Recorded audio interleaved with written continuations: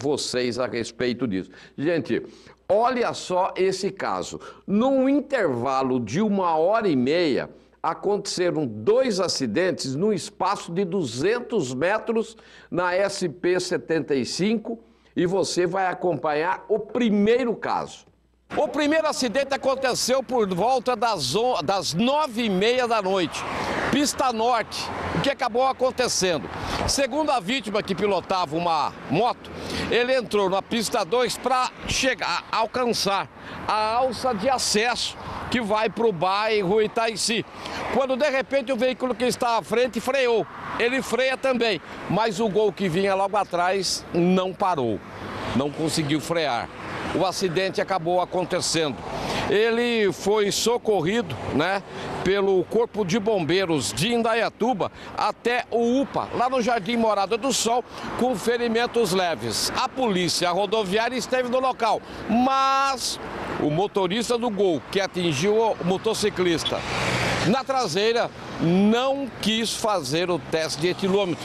Consequentemente, já foi em curso no artigo 165.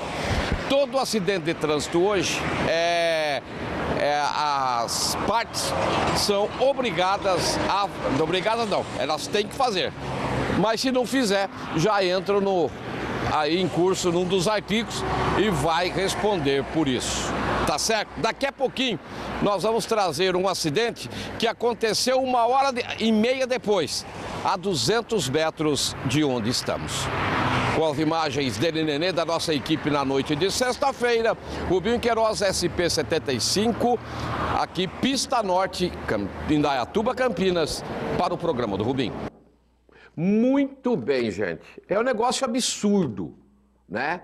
Esse caso, a pessoa está dando sinal, vai entrar, o carro da frente freia, o cara da moto teve que frear, estava numa distância, o gol que vinha logo atrás deu a pancada. Isso quer dizer que não estava numa distância segura para frear. Aí bate.